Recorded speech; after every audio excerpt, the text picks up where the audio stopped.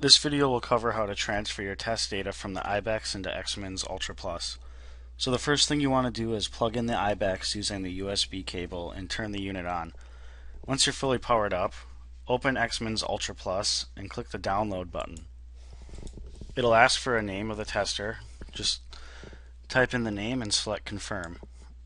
The data transfer window will appear. On the IBEX, press menu Scroll over to Report, press Enter. Scroll over to Data Transfer, and press Enter again.